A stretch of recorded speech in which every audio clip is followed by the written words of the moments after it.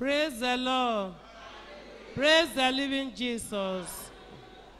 I, my name is Sister, Sister Maria from Akowonjo.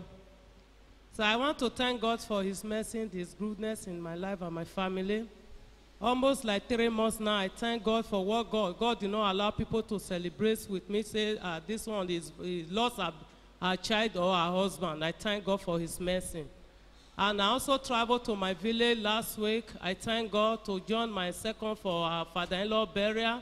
I thank God for bringing us go there and bringing us back safely. I give glory to His name because what we were expecting, uh, is God that is God that take His glory there because many things happen there. I thank God for His mercy, and also thank God for my son. I went out and I by the time I come, that place, I my mind just said I should turn back, go home. I supposed to brand like two places, and before I get home, we reach around six thirty. I don't know that something is happening at home. Something bite my son. they- We did not know. They tell him to go pharmacy. They give him sleepy tablet and give him something to rub it.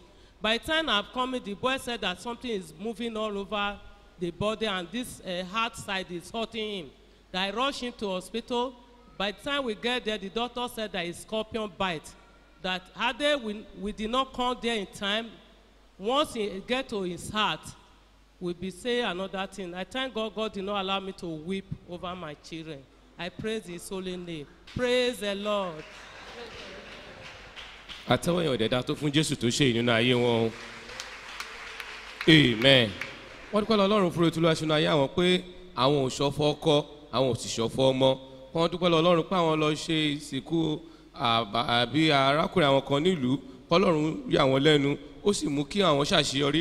Àti ìkẹta pé àkékè gé ọmọ àwọn jẹ láìmọ̀ ṣùgbọ́n ọlọ́run gbà á. Ọlọ́run jẹ́ kó bá a lọ.